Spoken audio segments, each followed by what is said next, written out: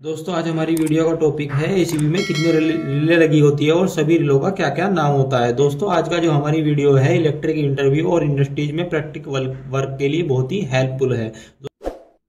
दोस्तों वीडियो शुरू करते हैं। दोस्तों, सबसे पहला हमारे मन में एक सवाल आता है एसीबी में कितने रिले लगी होती है और इन सबके क्या क्या नाम होते हैं। दोस्तों, सबसे पहले हम इसी क्वेश्चन की बात करते हैं। हमारी एसीबी में कितने टाइप की रिले होती है और उनके क्या क्या नाम होते हैं।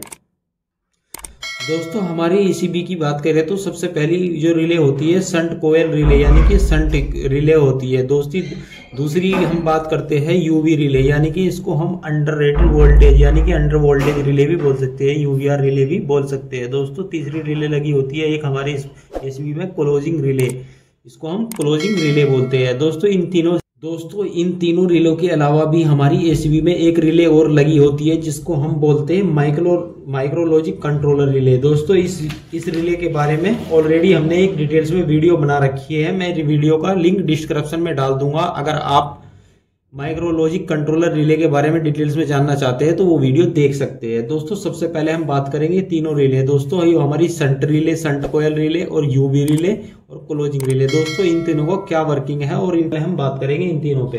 दोस्तों, सबसे पहले हम बात करें कि हमारी संट कोयल रिले। हम पहले नंबर पर बात करते हैं, जो हमारी संट कोयल जो है, इसको हम संट रिले बोलते हैं, दोस्तों।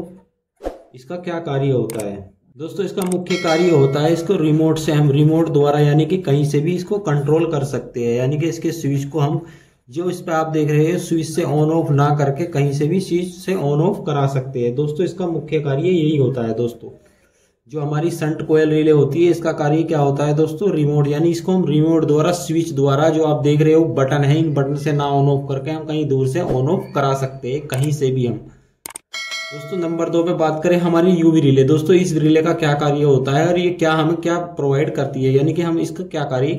दोस्तों, नंबर दो पे बात करते हैं हमारी जो यूवी रिले दोस्तों यूवी रिले होती है, इसका क्या कार्य होता है? दोस्तों UV relay under voltage relay दोस्तों, इसका नाम ही कुछ ऐसा है, आप लोग समझ गए होंगे अंडर वोल्टेज रिले होती है। दोस्तों, जो हमारे दोस्तों यूवी रिले हमारी होती है अंडर वोल्टेज रिले यानी कि अंडर वोल्टेज दोस्तों, जितनी रिले पे हम सेटिंग करते हैं, अगर हमारे वोल्टेज उससे अंडर यानी कि उससे कम चले जाते हैं तो हमारी जो एसीबी होती है एसीबी को ट्रिप कर, करा देते हैं। दोस्तों, कोई हमारी एसीबी लगी हुई है, उसमें इनपुट आ रहा है, कितने? 440 वोल्ट आ रहा है, मानने की बात है 440 आ रहा है। और आउटपुट में जा रहा है 440 हमारे जो आउटपुट से निकल रहा है 440 वोल्टेज दोस्तों। दोस्तों, इस तरीके से काम करती है। हमने इसकी सेटिंग कितनी की है? 400 वोल्टेज पे, यानी कि 400 वोल्टेज पे हमने सेटिंग की है।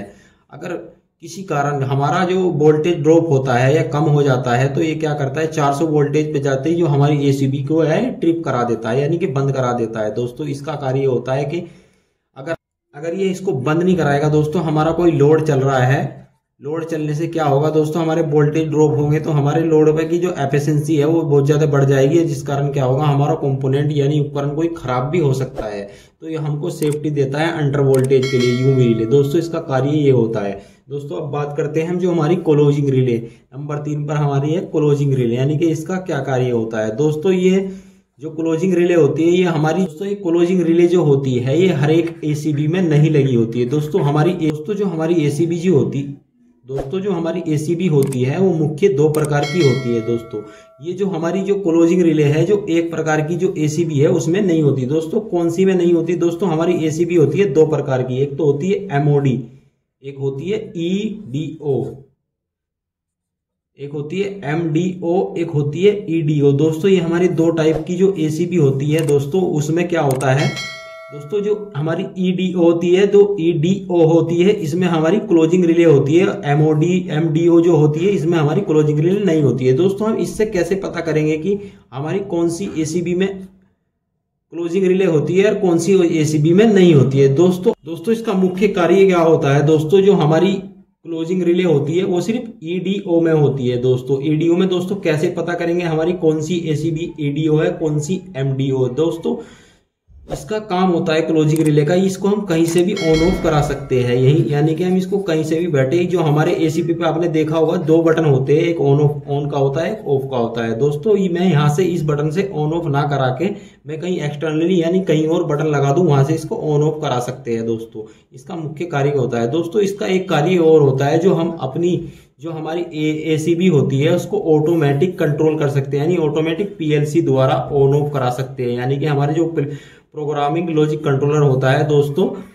उससे हम क्या कर सकते हैं इसको ऑन ऑफ़ करा सकते हैं। हमारी क्लोजिंग रिले का काम काम होता है दोस्तों। कई बार आपने देखा होगा हमारे किसी किसी पैनल में यानी कि जिसमें जिसमें ईडी ईडीओ लगी होगी दोस्तों। ईडीओ टाइप की जो हमारी एसीबी लगी होगी जिस भी अल्टी पैनल में पैनल में आपने देखा होगा उस पर टीएनसी स्विच होता है दोस्तों। आपने कुछ इस तरह का देखा होगा टीएनसी स्विच होता है जिसको क्या हो, क्या बोलते हैं इसको हम मैनुअली ऑन ऑफ़ करा सकते हैं दोस्तों। कहीं से भी ऑन ऑफ़ करा सकते हैं दोस्तों। ये हमारा टीएनसी स्विच भी कुछ इसी प्रकार काम करता है। दोस्तों, जो ईडी e होती है ईडीओ e होती है, सिर्फ़ उसी एसीबी में आपको टीएनसी स्विच देखने को मिलेगा। जो हमारी एमडीओ हो गई, उसमें हमारा टीएनसी स्विच नहीं होता है। दोस्तों, इसकी मुख्य पहचान यही होती है दोस्तों। आई होप दोस्तों वीडियो कैसी लगी, आपको ज़रूर बताइएगा। कमेंट में वीडियो अच्छी लगी है तो दोस्तों वीडियो को लाइक कीजिए। अगर आप हमारे चैनल पर नए हो तो हमारे चैनल को सब्सक्राइब कीजिए। दोस्तों, अगर आप इलेक्ट्रिक वीडियो देखना पसंद करते हो तो हमारे चैनल को एक बार विज़िट ज़रूर कीजिएगा।